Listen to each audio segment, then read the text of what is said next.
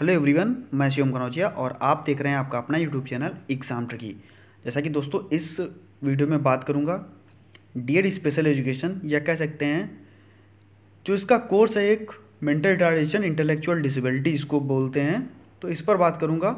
और दोस्तों, जैसा कि इसका टाइम टेबल आप सभी को पता था कि एक से छः मार्च के बीच में आपके पेपर्स हैं। लेकिन यह डिक्लेयर अभी तक नहीं था कि किस दिन कौन सा पेपर होगा तो इस वीडियो में हम चर्चा करेंगे।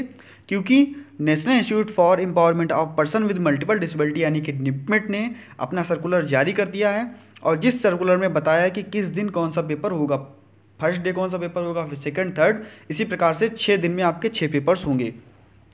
तो देख लेते हैं क्या कुछ नोटिस आया है निपमेट का। और दोस्तों चैनल पर नए हैं तो चैनल को सब्सक्राइब कर लीजिएगा।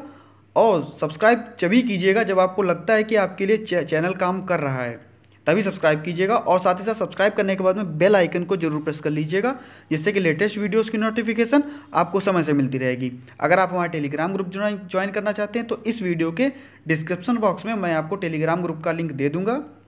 जहाँ पर आप टेलीग्राम ग्रुप ज्वाइन कर लीजिएगा और जो भी पीडीएफ होती, मैं वहाँ पर आपको प्राप्त करा देता हूँ। तो दोस्तों, वीडियो को लाइक कर दीजिएगा और ज़्यादा से ज़्यादा अपने मित्रों के पास शेयर कर दीजिएगा। लाइक जब भी करिएगा, जब आपको वीडियो अच्छी लगे। तो देखते हैं।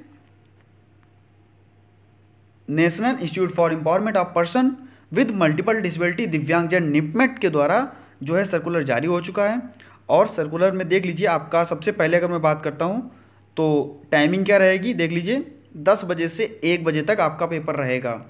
और यहाँ पर डी स्पेशल एजुकेशन रेगुलर और सप्लीमेंट्री दोनों के लिए है। ऐसा नहीं है कि रेगुलर वालों के लिए अलग है और सप्लीमेंट्री के लिए अलग है। तो सभी के लिए आप देख सकते हैं, ये आपका कोर्स दिया हुआ है और कोर्स कोड जो होता है आपका zero five four nine diploma in education special education mental या कह सकते हैं इंटेलेक्चुअल डिसबिलिटी फ़र्स्ट ईयर और इसके लिए है? 2019-21 बैच के लिए। तो यहाँ पर आप देख लीजिए, जो आपका फ़र्स्ट पेपर है एक तारीख को है और फ़र्स्ट पेपर एक तारीख को इंट्रोडक्शन टू डिसबिलिटी और सेकंड पेपर जो आपका है एजुकेशनल साइकोलॉजी दो तारीख को, उसके बाद में एजुकेशन साइकोलॉजी के बाद तीसरा पेपर आपका जो है, वह है ह्यूमन ग्रोथ का, यानी कि ह्यूमन ग्रोथ का आपका तीसरा पेपर है। इसके बाद में नेक्स्ट पेपर आपका है educational assessment teaching strategies and material development का जो आपका पेपर है, वो है आपका चार तारीख को। चार तारीख के बाद में नेक्स्ट डे आपका पाँच तारीख को कौन सा पेपर है? Training adaptive skills and functional academics तो ये आपका पेपर है पाँच तारीख को। ये आपका पेपर है पाँच तारीख को। और लास्ट पेपर जो थेरेपी का है, ये है आपका छः तारीख को और यहाँ पर आपके लगभग में सभी पेपर समाप्त हो जाएँगे छः तारीख को। तो इस प्रकार से और जैसा कि आप लोगों के प्रैक्टिकल की डेट्स भी आप लोगों को जल्दी ही कॉलेज बता देगा तेरह तारीख, एक से तेरह तारीख के बीच में जो आपके प्रैक्टिकल्स हैं, उसकी डेट आपको कॉलेज बता देगा किस दिन आपका प्रैक्टिकल लगा हुआ है। तो दोस्तों, आप लोग तैयारी करना स्टार्ट कर दीजिए।